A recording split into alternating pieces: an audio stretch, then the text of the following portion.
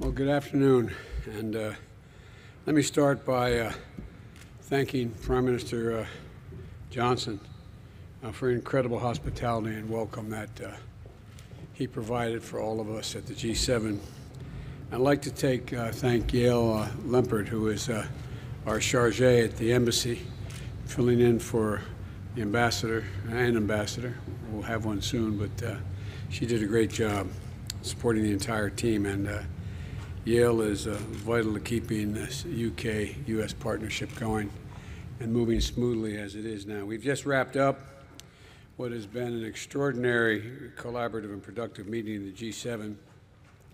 Everyone at the table understood and understands both the seriousness and the challenges that we are up against and the responsibility of our proud democracies to step up and deliver for the rest of the world. That's what the G7 is all about, and uh, rallying the world's democracies to meet the challenges that the world faces and deliver for our people and for people, quite frankly, everywhere. Ending the pandemic and uh, maintaining robust support for an equitable, inclusive global economic recovery were the top priorities of our nations as we got together.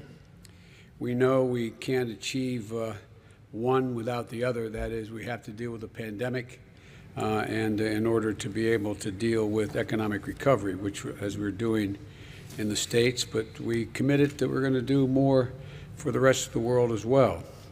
The uh, fact is that uh, we, uh, the U.S. Uh, contribution is the foundation, the foundation to uh, work out how we're going to deal with the 100 nations that are poor and having trouble finding vaccines and having trouble dealing with re reviving their economies if they were in the first place in good shape. And uh, we, uh, I committed that we would provide a half a billion, a half a billion beyond the 80 million we've already done, half a billion um, doses of Pfizer vaccine, which we contracted and pay for. In addition, the money we put into the COVAX project, which is that COVAX is, I know you all know, but a lot of people may not know what COVAX is. That is a system whereby uh, they're going to provide funding for states to be able to get access to vaccines uh, on their own as well. But the bottom line is what that generated was a commitment by the rest of our colleagues at the G7 that they would provide another half billion. Uh, so we're going to have a billion doses of vaccine. And in our case, uh, the, uh, that includes sharing more than uh, the, not just the 1 billion doses, overall, but we're going to provide for 200 million of those doses by the end of the year, another 300 million by the first half of next year. And so it was greeted with some enthusiasm, and uh, we've agreed to work together so that the world is better prepared to detect and deal with future pandemics, because there will be future pandemics. We have a, uh, sure you've seen it, if you haven't, you'll get it, a joint statement we put out uh, the, of the G7. You've seen it, I'm sure. Um, and uh, we are committed to follow on uh, to do some significant work, including not only how we deal with the distribution and help in getting shots and arms for the rest of the world, but how we're going to deal with putting together a mechanism to anticipate and deal with and be aware of the next, the next pandemic when it comes along and there will be others. And we also agreed to take important steps are going to support global economic recovery by laying the foundation for an equitable global economy. Critically, the G7 leaders endorsed uh, uh, a global minimum tax of 15 percent. Too many corporations have been engaged in what are essentially tax havens, uh, uh, deciding that they would pay considerably less in other in, other environs around the world. And, but this is going to make sure there's a minimum tax, and I'm going to have, I'm going to move on this at home as well, minimum tax for corporations to pay for the profits they make anywhere in the world. And uh, this agreement is going to help uh, arrest the race to the bottom that's been going on among nations attracting uh, corporate investment at the expense of priorities uh, like protecting our workers and investing in infrastructure. We also made a momentous commitment at the G7 to uh, help meet more than $40 trillion need that exists in, for infrastructure in the developing world. I put forward an idea that was called, uh, we, we named the Build Back Better World Partnership, uh, uh, which is, uh, we're calling it the B3W. The point is that what's happening is that uh, China has its Belt and Road Initiative, uh, and we think that there's a much more equitable way to provide for the needs of countries around the world. And so uh, it's, uh, it's been a, it's a values-driven, high-standard, transparent financing mechanism we're going to provide and support projects in four key areas, climate, health, digital technology, and gender equity. And we believe that will not only be good for the countries, but be good for the entire world and represent values that our democracies represent and not autocratic lack of values. By harassing the full potential of uh, those who are harassing, we're going to have to try to change things. That's the whole idea. Um, but here's the deal. Uh, we're going to make sure that we're able to pull together um, the ability to uh, use the development financing institutions and other development tools to expect a bold new infrastructure investment in low and middle income countries over the coming years, much of it coming from the private sector, which will generate the capital put in will generate significantly more capital from the private sector. We also made a historic commitment to permanently eliminate the use of our public finance to support unabated coal projects around the world and uh, to end and to end them by this year. The G7 ag agreed to that, and those who are not members but visiting members who are participating in the G7 who have coal-fired facilities have also agreed that they would work in that direction as well. So transitioning the world to cleaner energy sources is urgent, it's essential. If we're going to beat the uh, climate, uh, and there is, one of the things I, some of my colleagues said to me when I was there was, well, the United States' leadership recognizes there is global warming. Um, and I know that sounds silly, but uh, you know we had a president last who uh, basically said it's not a problem, global warming. It is the existential problem facing humanity, and uh, it's being treated that way. So we're going to provide up to two billion dollars to support uh, developing company, countries as they transition away from unabated coal-fired power. Uh, in addition, we also agreed to tackle corruption which is a threat to societies everywhere. I pointed out in a conversation I had with, uh, with one, one of the leaders of, uh, uh well, actually with China, uh, and uh, that was, it was a, a request for me not to try to, when I was asked what I was going to be doing, after being elected, I said we're going to reestablish the strength of American relationships so we can be counted on again, alliances, and suggested that, well, maybe you shouldn't get the Quad, meaning India, uh, Japan, Australia, and the United States working together. And maybe you shouldn't be pushing on strengthening the European Union to deal with the West, not just to have, and so on. And I said, for an American president to, every, every, every president to be sustained or prime minister has to represent the values of their country. And I pointed out, and I mean it sincerely, we're unique uh, as a country. We're built on, we're, we're unique in the sense that we're not based on ethnicity or geography or religion. We're one nation that said we organized on an idea. We hold these truths to be self-evident, that all men and women are created equal. Sounds corny, but it's real. And any president who doesn't act consistent with what the, the raison d'etat for the nation is cannot be sustained at the support of that country. And so what we were able to do is uh, we know that corruption undermines the trust in government, siphons off public resources, makes economies much less competitive, and constitutes a threat to our security.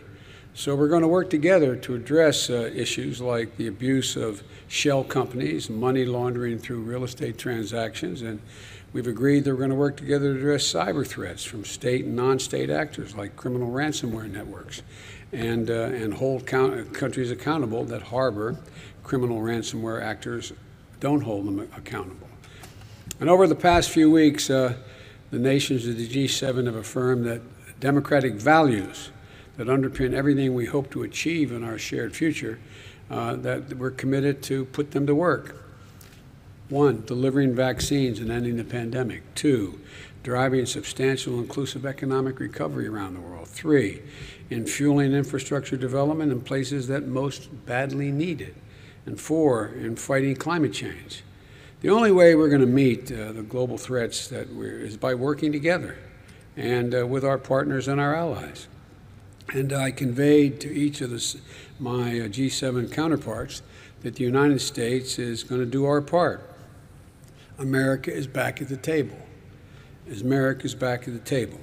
The lack uh, of uh, participation in the past and, and full engagement um, was noticed significantly, not only by the leaders of those countries, but by the people in the G7 countries. And uh, America is back in the business of uh, leading the world alongside nations who share our most deeply held values. And so uh, the bottom line is I was very pleased with the, uh, with the outcome of the, uh, of the entire conference. Um, and, uh, you know, I, I, noticed there was a lot of coverage of my individual comments made by uh, my colleagues about uh, um, how we were all getting along together. But the truth of the matter is, we did. There was a, I felt it wasn't about me, but it was about America. I felt a genuine sense of enthusiasm that America was back at the table and fully, fully engaged.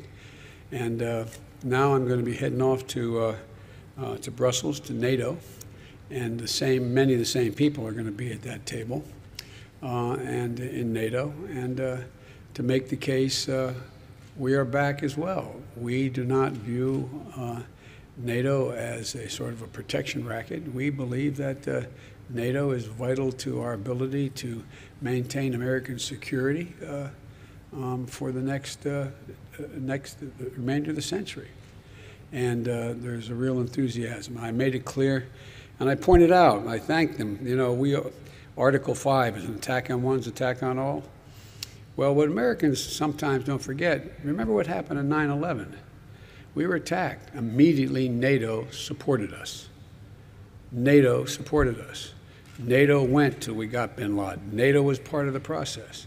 And I want them to know, unlike whether they, they doubt it, that we believe NATO and Section 5 is a sacred obligation. Bottom line is, I think, uh, I think we've made some progress in reestablishing American credibility among our closest friends and our, our, our, values. Now, why don't I take some of your questions? And I'm told, Jonathan, I'm supposed to talk, uh, recognize you first. Well, I appreciate, I appreciate that, sir. Thank you very much. Um, Mr. President, uh, Vladimir Putin, uh, thank you. Uh, Vladimir Putin, who you'll be seeing in a few days in Geneva, said just a couple of days ago that he believed that U.S.-Russia relations were at a low point. In what concrete ways could your summit change that? And then secondly, on the same topic, you have said previously and in the run up to the summit that you would be unafraid to call out Russia's uh, disruptive actions like cyber hacks, Ukraine, election interference. But you're not having a joint press conference with Putin. Why not take the chance to stand side by side with him and say those things to him with the world watching? well, let me make it clear. I think he's right, it's a low point, and uh, it depends on how he responds to acting consistent with international norms which in many cases he has not. As I told him when I was running and when I got elected, before it was, I was uh, sworn in, that uh, I was going to find out whether or not he, in fact, did engage in trying to interfere in our election, that I was going to take a look at whether he was involved in the, the uh, um, uh, cybersecurity breach that occurred, et cetera. And if I did, I was going to respond.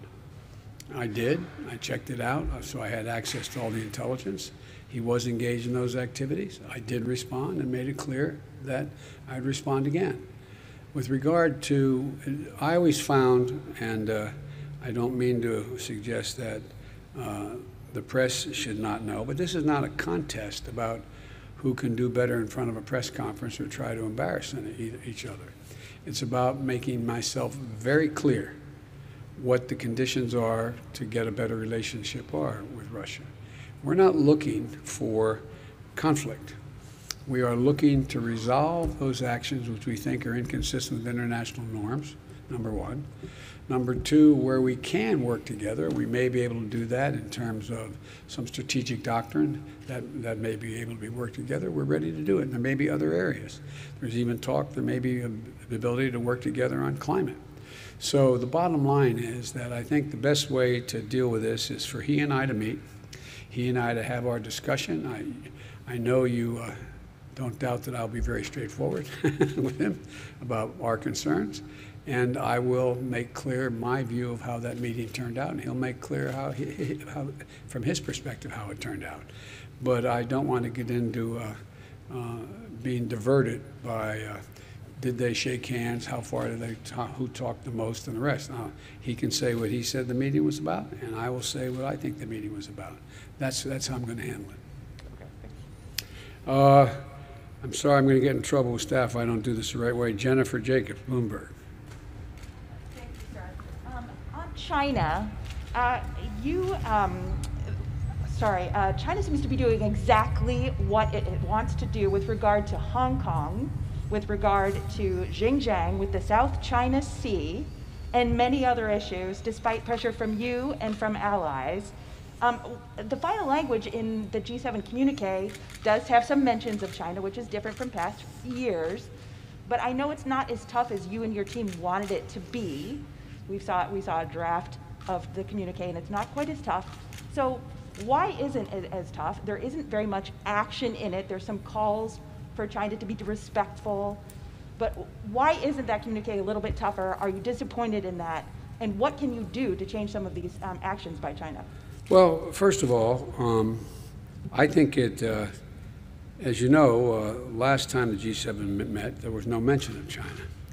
Um, but this time there is mention of China. The G7 explicitly agreed to call out human rights abuses in Xinjiang and in Hong Kong, explicitly.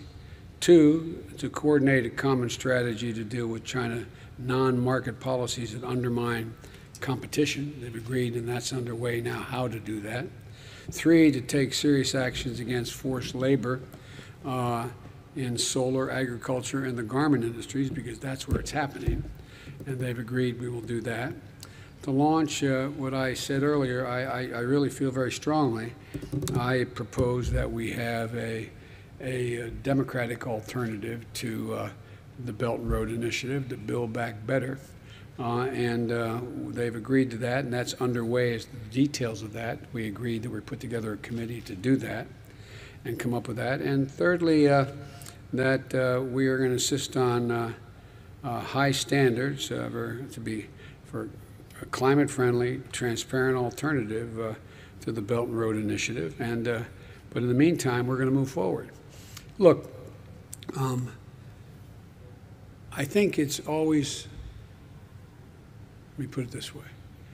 I know this is going to sound somewhat prosaic, but I think we're in a contest, not with China per se, but a contest with autocrats, autocratic governments around the world, as whether or not democracies can compete with them in the rapidly changing 21st century. And I think how we act and whether we pull together as democracies is going to uh, determine whether our grandkids look back 15 years from now and say, did they step up? Are democracies as relevant and as powerful as they have been? And I walked away from the meeting with all my colleagues believing that they are convinced that that is correct now, too. Not, I shouldn't say now, not just because of me, but they believe that to be the case. And so I think you're going to see just straightforward dealing uh, with China. And again, we're not looking, as I've told uh, Xi Jinping myself, uh, I'm not looking for conflict. Uh, where we cooperate, we'll cooperate. Where we disagree, I'm going to state it frankly, and we are going to respond to actions that are inconsistent. For example, we talked about trade. It's one thing to talk about whether or not our agriculture policy makes sense, another thing to say, by the way, you're demanding that if I do business in your country, I've got to give you all my trade secrets and have the, the, the Chinese partner have 51% of that? No, not us. So are you saying, Mr. President, are you satisfied with what came out in the Yes. communique? Or did you wish it were tougher? Do you wish there was more Yes. action on China? I think there's plenty of action on China, and there's always something that you can I'm sure my colleagues think there's things they think they could improve that they wanted, but uh, I'm satisfied. Uh, Steve Holland, Reuters. follow up on Jim's question. The communique cited a variety of fronts on China, everything from human rights, the origin of the COVID virus, Taiwan. What do you think China needs to do to ease tensions? I think China has to start to act uh, more responsibly in terms of international norms on human rights and transparency. Transparency matters across the board. And uh, I think the idea that, uh, for example, one of the things I raised and others raised, I wasn't the only one who raised this at the G7, is that uh, um, we don't know, we haven't had access to the laboratories to determine whether or not, I, I have not reached a conclusion because our intelligence community is not certain yet, whether or not this was a consequence of a, uh, from the marketplace of a bat and, you know, i- i- uh, interfacing with, with, with, with animals in the environment that caused this, this, this uh, uh, COVID-19, or whether it was uh, an experiment gone awry in a laboratory. It's important to know the answer to that because we have to have access, we have to build a system whereby we can know what, when we see another transparent, uh, lack of transparency might produce another vac, a, a, a, another pandemic. We have to have access. The world has to have access. So we're trying to figure out at the G7 whether we could put together an international um, basis upon which we could have a bottom line with what the transparency accounted for. And you, and you mentioned, you mentioned that the, uh, the argument behind the scenes, that you had, had not mentioned China in three years in one of these communiques. What did you argue behind the scenes to try to bring people to the point where they got? To answer that question, there's no way to answer without sounding self-serving. Um, let me just say this. I just laid out what I thought was the need for us to be consistent to protect our economies and to see to it that other struggling economies uh, who needed help got the help and were not held captive by other nations. Uh, but uh, you, you might ask that to others. I'm not trying to be a wise guy, but I. And uh, Wall Street Journal, Andrew?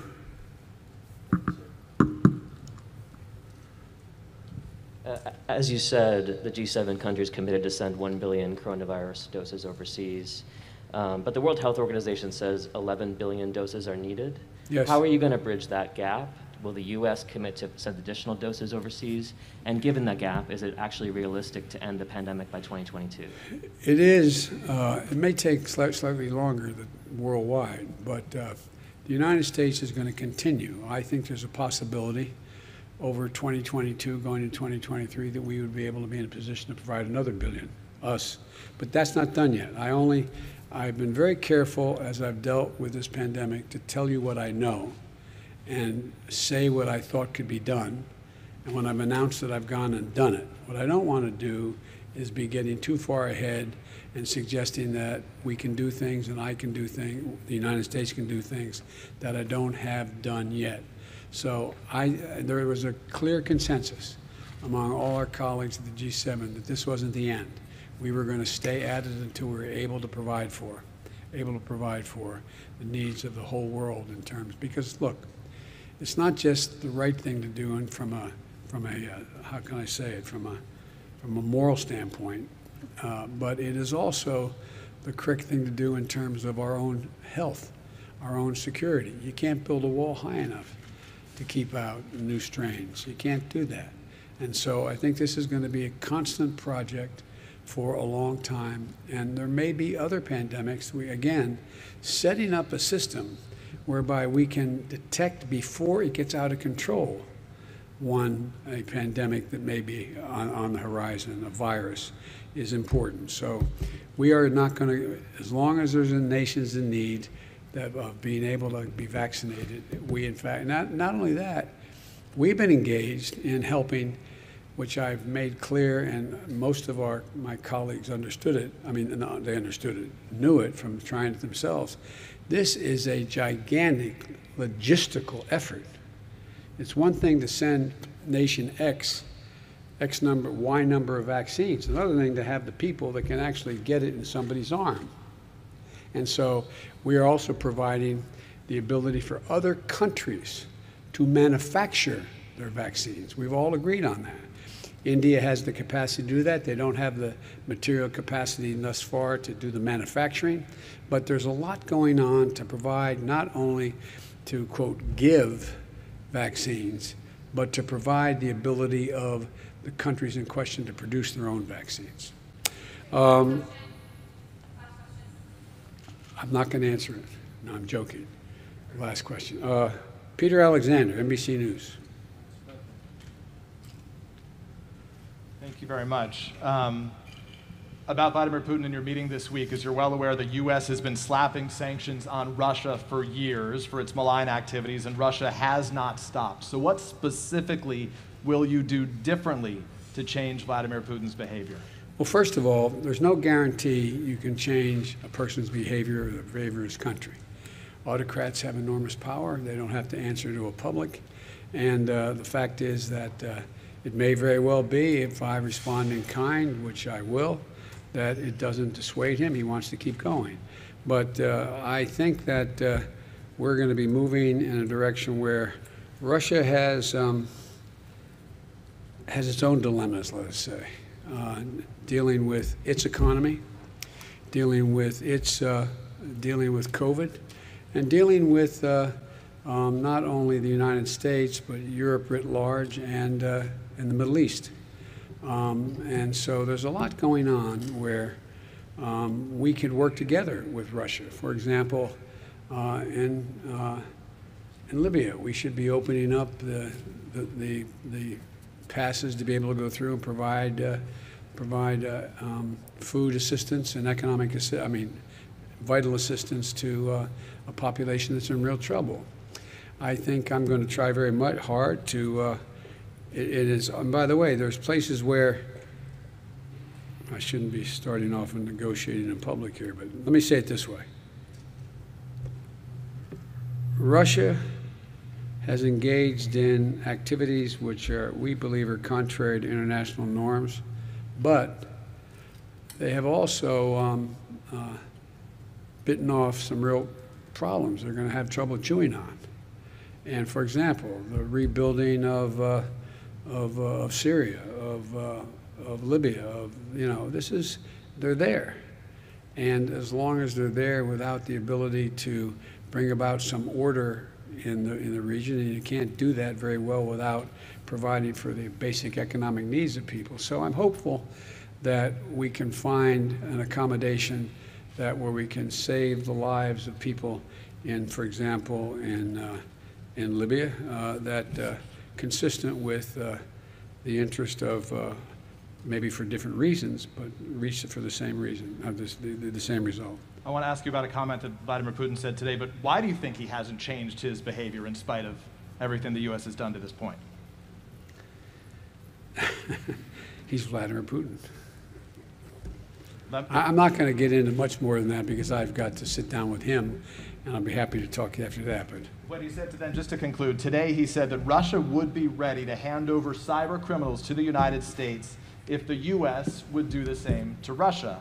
Uh, and an agreement came out of this meeting coming up. So are you open to that kind of a trade with Vladimir Putin?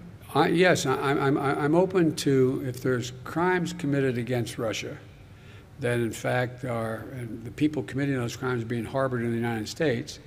I'm, I'm committed to holding them accountable. Um, and I'm, I heard that. I was told as I was flying here that he said that. I think that's, uh, that's potentially a, a good sign and progress. Thank you all very, very much. I. Thank you.